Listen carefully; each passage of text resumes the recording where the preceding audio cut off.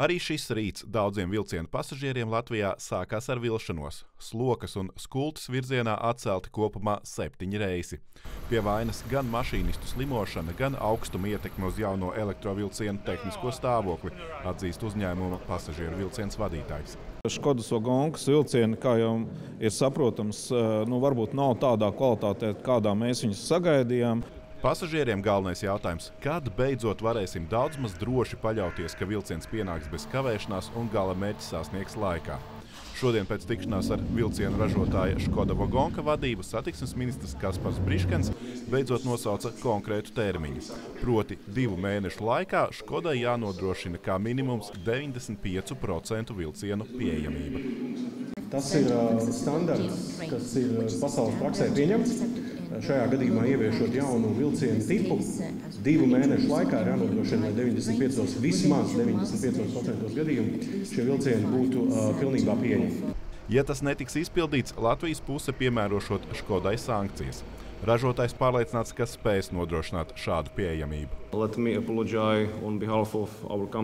Ļaujiet man atvainoties mūsu uzņēmuma vārdā par visām nērtībām, ko radījuši mūsu vilcieni. Bet es ceru un ticu, balstoties uz mūsu iepriekšējo pieredzi, ka ļoti drīz, vēlākais divu mēnešu laikā, viss mūsu vilcienu parks būs par 95% gatavs strādāt, kas ir mūsu standarts. Lai pasažieriem šajos divos mēnešos pēc iespējas samazinātu nērtības, ministrs uzdevis pasažieru vilcienam, Latvijas dzelzceļam un autotransporta direkcijai pilnveidot reaģēšanu incidentu gadījumos, tā skaitā nodrošinot rezerves transportu un pasažieru informēšanu. Škodas pārstāvji apgalvo, vilcieni esot testēti arī ziemas apstākļos, bet neskatoties uz to, Latvijas ziemā un ikdienas eksploatācijā atklājusies virkne būtisku problēmu ar elektroniku. Turklāt augstā laikā nestrādā vilcienos ierīkotās labierīcības un izkāpšanas sistēmas.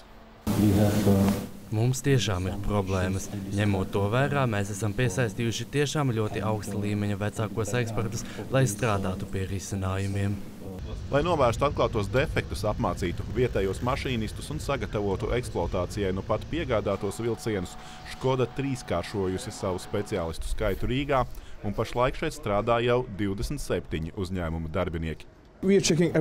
Yeah. Mēs pārbaudām visu, un, ja kādam mūsu vilcienam lietošanas laikā parādījies defekts, mēs to pārbaudām arī citos jaunajos vilcienos. Well Šobrīd pasažieru vilciena rīcībā ir 17 jaunie sastāvi, un divu mēnešu laikā tiks piegādāti vēl četri.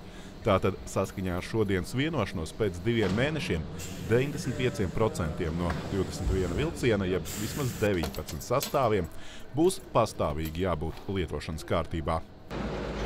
Girts Zvirbulis, Kaspars Markus, Arķems Kačerjans, Latvijas televīzija.